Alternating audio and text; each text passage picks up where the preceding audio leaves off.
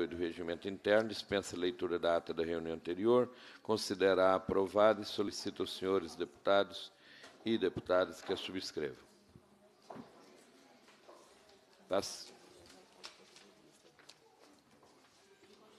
Passamos à primeira fase da ordem do dia, discussão e votação de parecer sobre proposições sujeitas à apreciação do plenário. Projeto de Lei 3.082-2015, em primeiro turno, que acrescenta incisos ao artigo 5 da Lei 15.082, de 27 de abril de 2004, que dispõe sobre rios de preservação permanente e da outras providências. De autoria do deputado Dr. Jean Freire.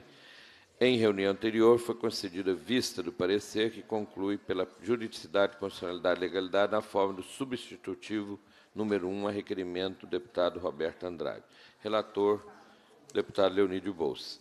Nós estamos aqui retirando o nosso parecer anterior, apresentado anteriormente e estamos apresentando um novo parecer, que a proposição exame visa acrescentar inciso artigo 5 da Lei 15.082 de 2004, de forma a incluir o Rio Santo Antônio e o Rio Preto no rol de rios de preservação permanente que trata esta lei.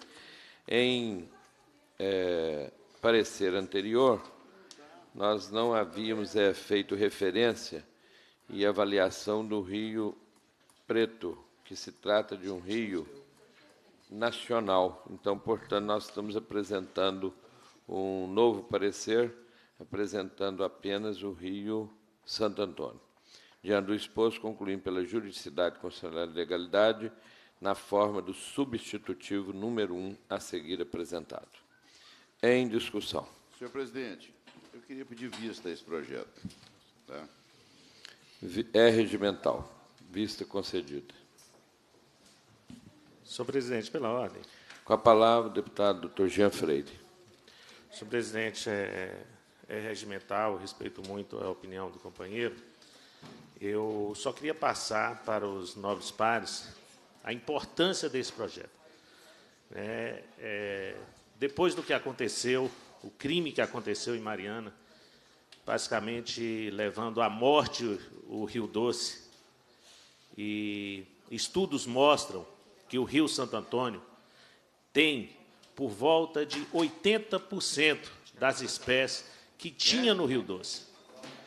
E que se nós transformarmos este rio em preservação permanente, essa é uma oportunidade, tendo aí esse, digamos, esse berçário de espécies do Rio Doce, se nós transformarmos esse rio em preservação permanente, é a oportunidade da gente eh, salvar o Rio Doce.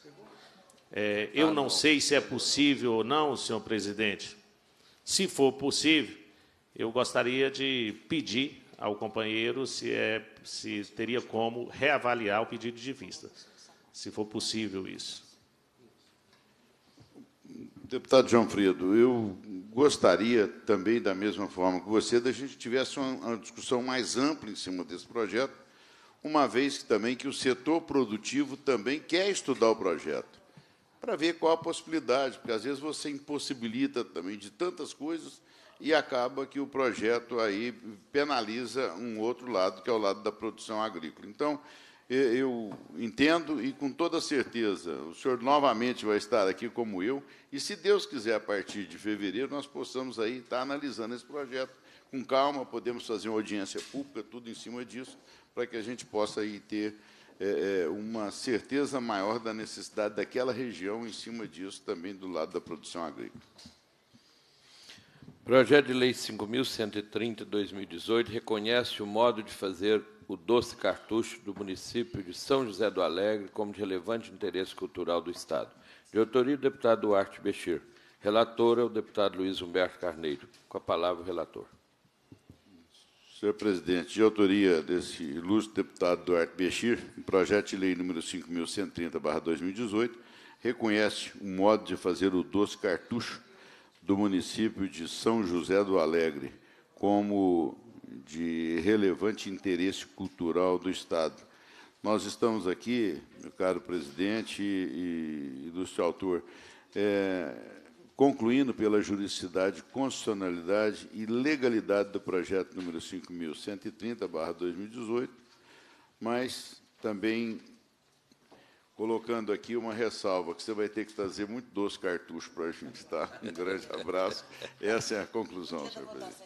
Sem dúvida. Em discussão. Em votação. Senhores deputados que aprovam o parecer, permaneçam como se encontram. Aprovado. Não havendo mais nada nesta pauta e cumprida a finalidade desta reunião, a presidência agradece a presença dos senhores parlamentares, convoca os membros para a próxima reunião ordinária, determina a lavratura da ata e encerra o trabalho. Lembrando que nós ainda temos uma reunião extraordinária a seguir.